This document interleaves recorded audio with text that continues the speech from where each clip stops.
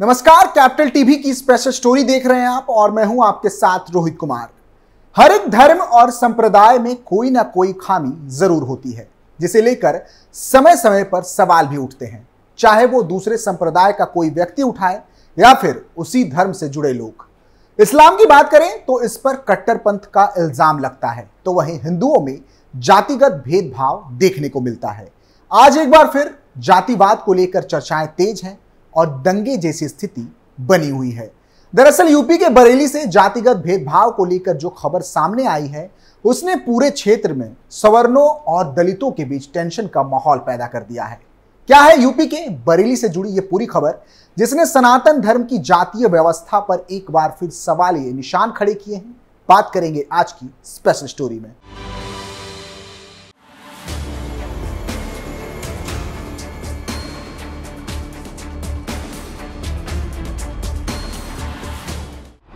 युवक को पानी पीना पड़ा महँगा। दबंगों ने दलित की कर दी पिटाई। लड़के की माँ ने किया विरोध। मंचलों ने फाड़ डाले महिला के कपड़े। उत्तर प्रदेश के बरेली से मानवता को शर्मनाक करने वाली खबर सामने आई है। आरोप है कि दबंगों ने अनुसूचित जाति के युवक को नल से पानी नहीं पीने दिया। जब युवक की माँ ने इस बात का विरोध जताया तो उनके साथ जमकर मारपीट की गई। इतना ही नहीं, उनके कपड़े फाड़ दिए गए। आरोप है कि दबंगों ने महिला को निर्वस्त्र कर गाँव में घुमाने की धमकी भी दी। पीड़ित महिला ने पूरे मामले की शिकायत एसएसपी से की। उसके बाद एसएसपी ने मुकदमा दर्ज करने के आदेश दिए। पुलिस ने आरोपितों के खिलाफ गंभीर धाराओं में मुकदमा दर्ज कर महिला को मेडिकल परीक्षण के लिए भेज दिया। पुलिस ने पूरे मामले की जाँच पड़ताल शुरू कर दी है। फ़िलहाल आरोपी घर छोड़कर फरार हैं। दरअसल पूरा मामला बरेली के थाना कैंट क्षेत्र के गाँव चौबारी का है। आरोप है कि गाँव के अनुसूचित जाति के युवक को दबंगों ने अपने नल पर पानी पीने से मना कर दिया और उस पर रोक लगा दी।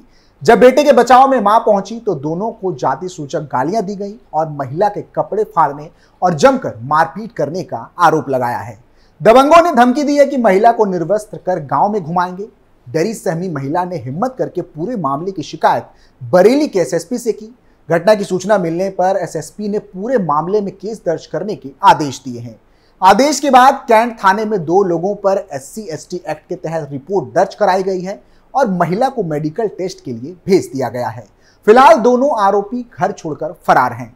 पुलिस गिरफ़्तार करने के लिए जगह जगह पर दबिश दे रही है। महिला का आरोप है कि उसका बेटा गाँव के ठाकुर राजेश के खेत में पानी पीने गया था। वहाँ नल पर पानी पीने के दौरान शिशुपाल आया और उसने पानी पीने से रोक दिया। शिशुपाल ने जाति सूचक टिप्पणी करते हुए कहा कि तूने पानी को अछूत कर दिया। बेटे ने घर जाकर माँ को इस बारे में बताया। सीओ प्रथम पंकज श्रीवास्तव ने बताया कि आरोपी के आधार पर रिपोर्ट दर्ज कर ली गई है और सबूतों के आधार पर आगे की कार्रवाई की जाएगी।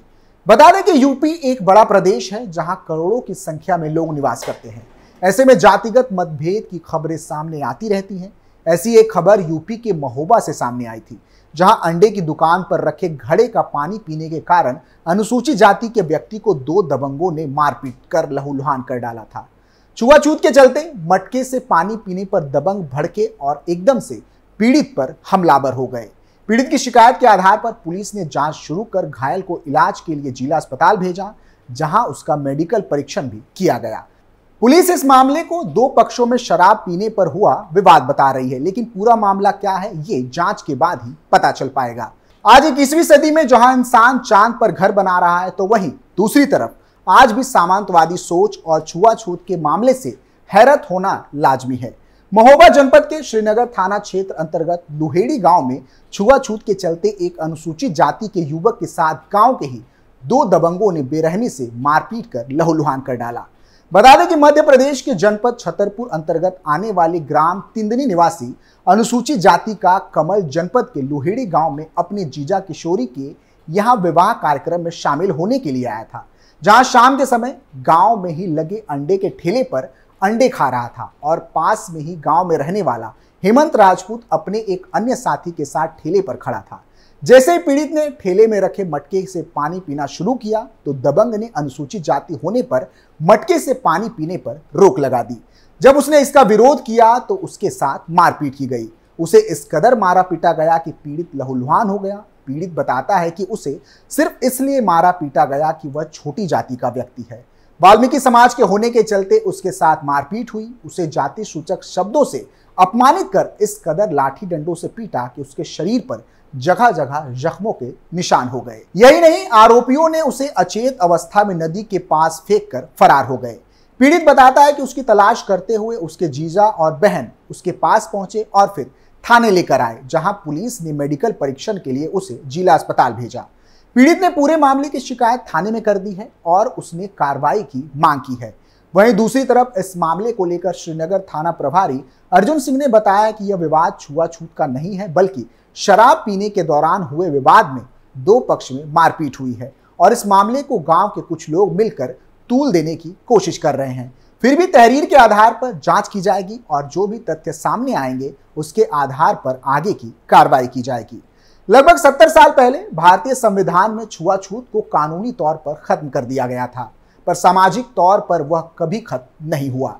20 मार्च 1927 को बी आर अंबेडकर द्वारा शुरू किया गया महाल सत्याग्रह या चावदार कथा सत्याग्रह भी इसीलिए शुरू किया गया था ताकि सार्वजनिक टैंक से जिन्हें समाज में अछूत माना जाता है, वह भी पानी पी सके। आज इतने सालों बाद भी पानी और जाति, दलितों व आखिरी पायदान पर रह रहे लोगों के लिए सिर्फ़ हिंसा और शोषण का ही रूप है। दलित कुएँ से पानी नहीं पिएगा।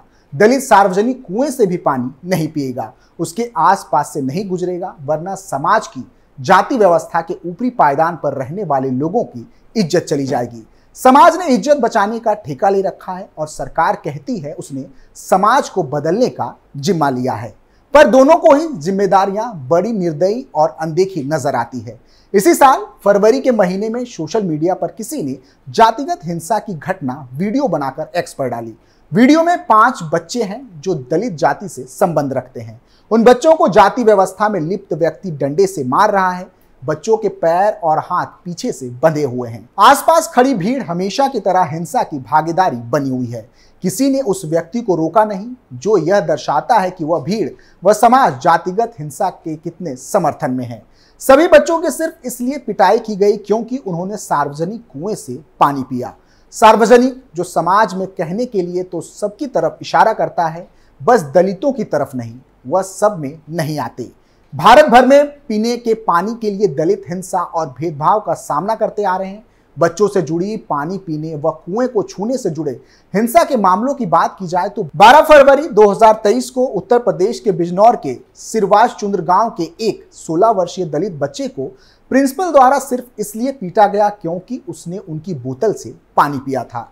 मार्च 2023 में उत्तर प्रदेश के जालौन ज़िले के एक और 9 साल के दलित बच्चे को तालाब से पानी पीने के लिए एक शिक्षक ने पीट डाला।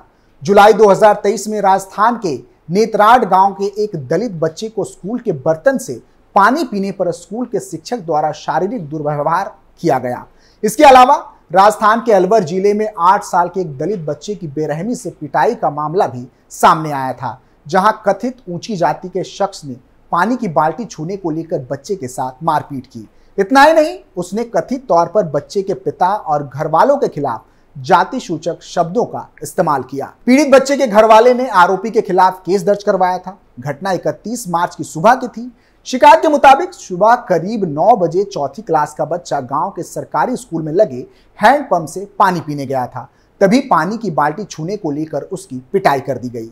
पिता ने बताया कि उनका बेटा अब स्कूल जाने से डरता है। उसे लगता है कि स्कूल जाने पर वो आदमी फिर से उसके साथ मारपीट करेगा। पीड़ित के पिता ने न्याय की मांग करते हुए दोषियों को सजा देने की बात कही है। अफसोस की बात यह है कि इक्कीसवीं सदी में भी ऐसे मामले देखने को मिल रहे हैं। कभी दलित दूल्हे को घोड़ी पर चढ़ने को लेकर पीटा जाता है तो कभी ऊँची जातियों के मोहल्ले से गुजरना उन्हें महँगा पड़ जाता है। और यही कारण है कि हिंदू समाज कई धड़ों में बटा हुआ है। उनमें एकता की कमी नज़र आती है, जिसका फ़ायदा अक्सर राजनेताओं द्वारा उठाया जाता है। फ़िलहाल के लिए इतना ही, आप देखते रहिए कैपिटल टीवी उत्तर प्रदेश। नमस्कार।